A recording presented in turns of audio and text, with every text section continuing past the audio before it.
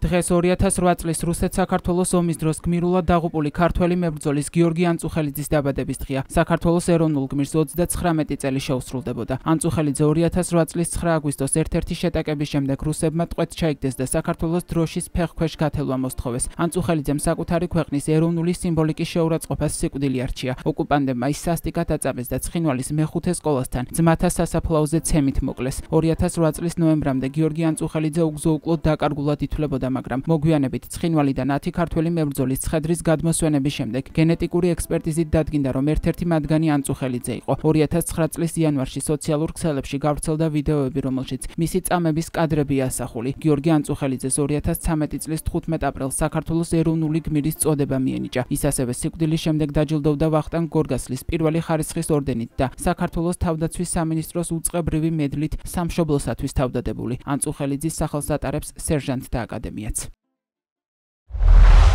საქართველოს ეროვნული გმირის დაბადების დღესთან დაკავშირებით განცხადება გაავრცელა პრემიერ-მინისტრმა ირაკლი ღარიბაშვილმა. განცხადებაში ვკითხულობთ, რომ ანწუხელიძის გმირობა სამშობლოს ერთგულების თავგანწირვისა და შეუდრეკელობის უკვდავი მაგალითია. დღეს საქართველოს ეროვნული გმირის სამშობლოსათვის თავდადებული მამულიშვილის გიორგი ანწუხელიძის დაბადების დღეა. კიდევ ერთხელ ტკივილით და ამავე დროს სიამაყით ვიხსენებთ გაუტეხელი ქართველის სულის საუკეთესო გამოვლინებას, რომელმაც სამუდამოდ ჩაწერა გიორგი ანწუხელიძის სახელი ჩვენი ქვეყნის ისტორიაში. მისი გმირობა სამშობლოს ერთგულების თავგანწირვისა და შეუდრეკელობის უკვდავ მაგალითად დარჩა თითოეული ჩვენგანისა თუ მომავალი თაობებისთვის.